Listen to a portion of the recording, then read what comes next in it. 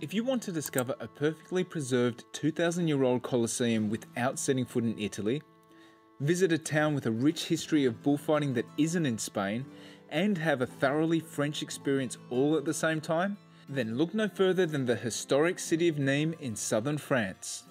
Hi, I'm Jay. And I'm John. And we're bucket list travellers. And we're coming to you from Nîmes, France. Welcome to our Nîmes travel guide. Nîmes is a charming city in southern France. It has an interesting mixture of cultural influences, which may lead you to ask is this Spain, Italy, or France? Come with us on a journey through this beautiful city, exploring the best things to do and food to eat in Nîmes, France. We'll share plenty of France travel advice to help you plan your next French getaway. Nîmes is a city in the Occitanie region of southern France. It is located halfway between Montpellier and Avignon and is about a half hour train ride from either city. Nicknamed French Rome, this city has a rich history that dates back to the Roman Empire. Throughout the city, there are remarkably well preserved buildings and monuments that were built and used by the Romans over 2,000 years ago. Behind me is the ancient La Porte Auguste, which is an ancient gateway that was part of the ramparts around the fortified city of Nîmes. It was built in the 1st century AD and funded by Emperor Augustus. The centerpiece of the city is the Colosseum, known as Arène de Nîmes. The arenas de Nîmes were built in the 1st century AD. They were styled after the Colosseum in Rome, and I can't believe something like this exists in France. It's so amazing to be able to walk the halls that the gladiators walked almost two millennia ago.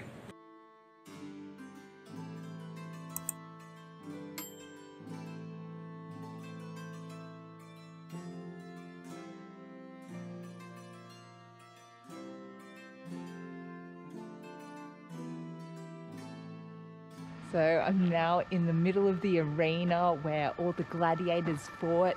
Below me is the sand.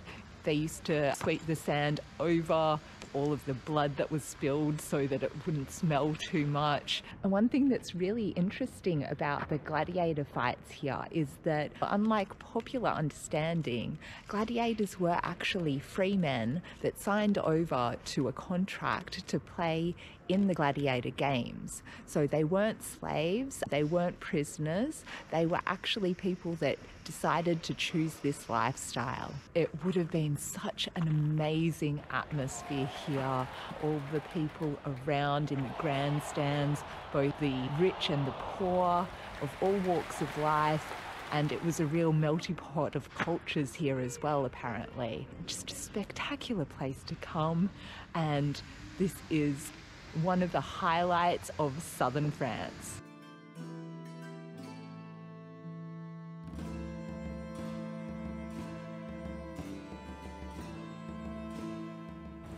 The view from the top is spectacular.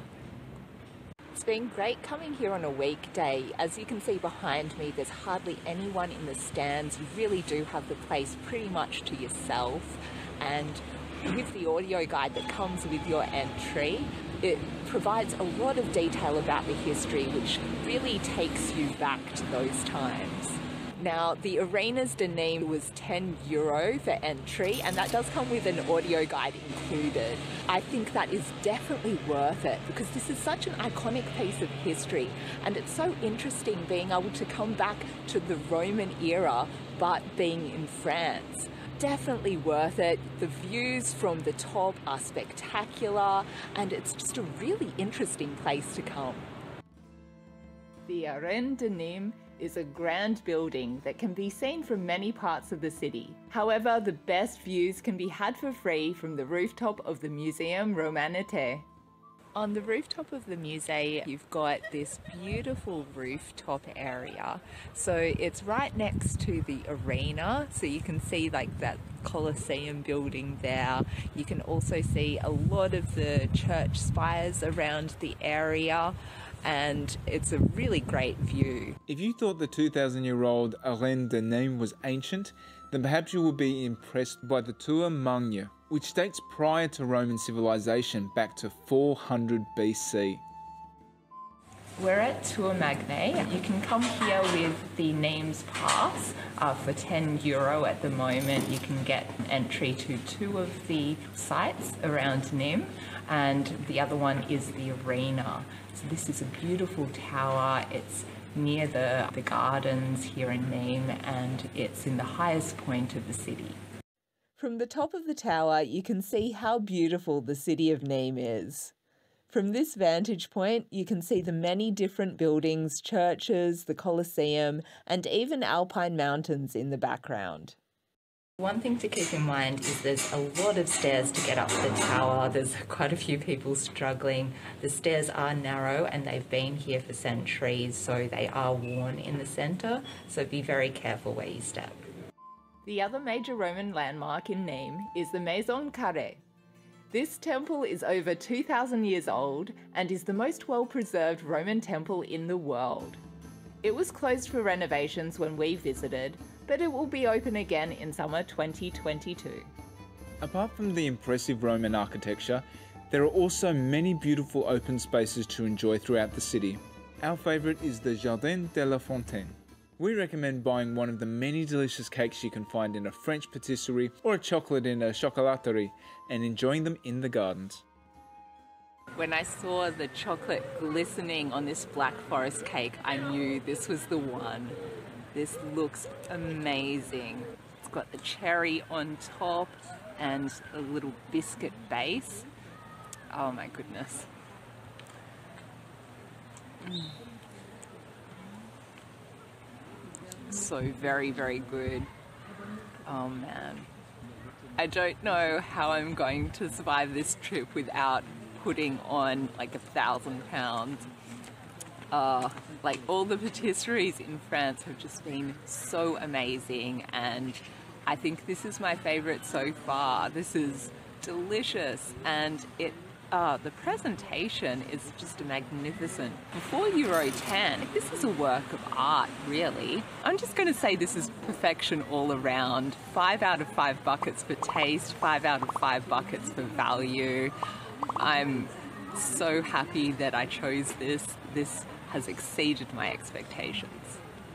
Don't forget to try out the local specialties when in Nîmes. Most areas in France have regional specialties, and we've enjoyed sampling the finest French cuisine as we've travelled through southern France. One must eat dish of Nîmes is pâté nîmois. We've gone to a boucherie in Nîmes and we've got a local specialty which is called pâté nîmois. So it looks like this. So it's a nice little pastry, nicely decorated on the top. It looks like a bit of a vol au vent, but on the inside you've got either pork or veal or some manner of meat. So I'm not sure exactly which one we've got here, but I'm going to find out very shortly. It's an interesting taste. I initially thought that this was cheese on the inside, but I'm pretty sure it's now a meat-based pate. The pastry on the outside is really nice. It's like a, uh, I would say like a sausage roll pastry. So we brought in the expert Jay, what do you think that is? Yeah, so. Do you think it's, it's interesting. It's really creamy, and it, yeah, as you said, it kind of it looks like cheese or or something like that. I guess, like it kind of maybe tastes like smoked salmon. I think it's nice. Mm. So yeah, if you know exactly what we're eating, please let us know in the comments. Mm. We'd really appreciate that. Whatever it is, I think it's good. So I've got another pate nîmois. Let's give this one a try. This is probably pork, and I like this much better. For me, it tastes like a sausage roll, and I love sausage rolls, so yeah, I'm much happier with this version. A day trip to Nîmes can be easily done from nearby cities Montpellier or Avignon. There are also plenty of accommodation options to suit all budgets. We stayed in Nîmes for a couple of days at 20 Campus Nîmes. It is a great budget apart hotel at 40 euro a night, and we enjoyed their modern facilities, fast internet, included breakfast on weekdays, and convenient location. The hotel is only 5 minutes walk from the train station and is within walking distance to all of the major attractions in Nîmes. We are bucket list travellers. See you next time.